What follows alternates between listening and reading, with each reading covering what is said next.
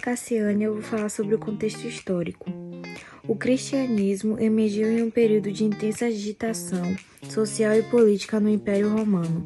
A Judéia, onde Jesus nasceu e apregou, era uma região marcada por tensões entre a ocupação romana e a cultura jurídica.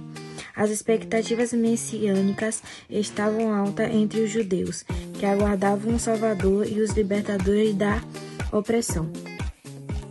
Oi, bom dia, me chamo Kate e eu vou falar sobre os personagens chaves.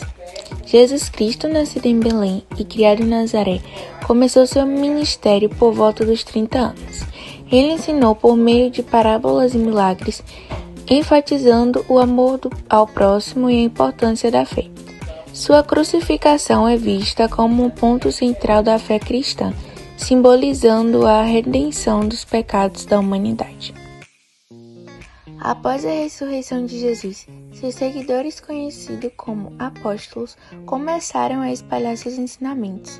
Pedro e João foram fundamentais na formação das primeiras comunidades cristãs em Jerusalém, enquanto Paulo se destacou ao levar a mensagem aos gentios, não judeus, e para diversas cidades do Império Romano.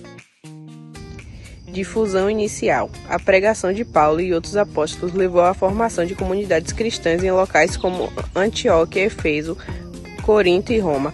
A utilização de rotas comerciais e a língua grega facilitaram essa disseminação.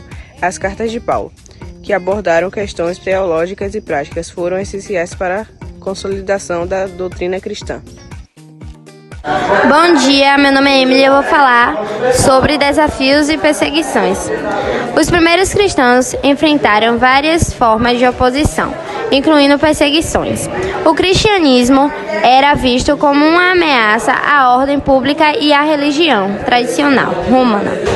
Muitos cristãos foram martirizados, como Santo Estevão, o primeiro mártir, e isso fortaleceu a resiliência da comunidade cristã, inspirando outros a se juntarem à fé.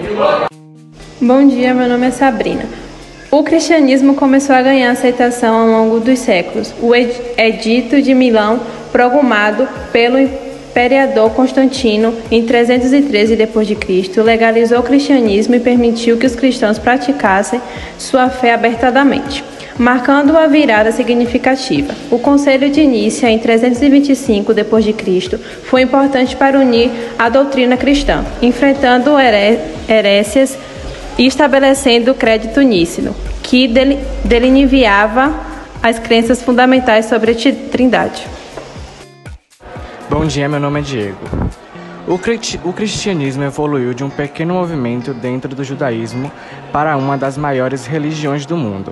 A sua influência se estendeu além da religião, moldando a arte, a filosofia, a moral e a política ao longo dos séculos. O cristianismo continua a ser uma força significativa na sociedade contemporânea, com um impacto duradouro em várias culturas ao redor do mundo.